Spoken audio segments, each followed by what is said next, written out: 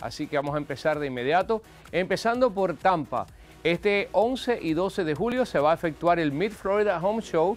Esto va a ser en Plan City, para ser más exacto, en el 2301 de Oak Avenue en Plan City, de 10 de la mañana a 5 de la tarde. Una exposición sobre todo lo que tiene que ver con el hogar. Marioxi.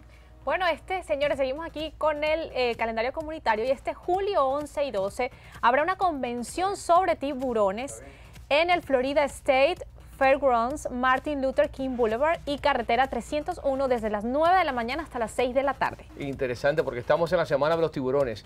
El 22 de julio es la feria de empleos tan importante de la representante estatal Janet Cruz aquí en Tampa. No se lo pierda en Higgins Hall, 5225 North Himes Avenue de 10 de la mañana a 2 de la tarde. Así que no vaya a faltar información al 813 813 673 eh, 4-6, eh, parece que falta un 7-3, faltó un número, exactamente, ok. Bueno, y en Orlando, hoy julio 8, el Orange County Job Fair Central Florida Expo Park en la 4503 West Colonial, Colonial Drive desde las 12 del mediodía hasta las 4 de la tarde. Información al 407-834-4022 otra importante eh, feria de empleos. También del 11 y 12 de julio en Orlando se va a llevar el Comic Book Convention y Connection, eh, también con exhibición de juguetes y de libros de, caricaturas.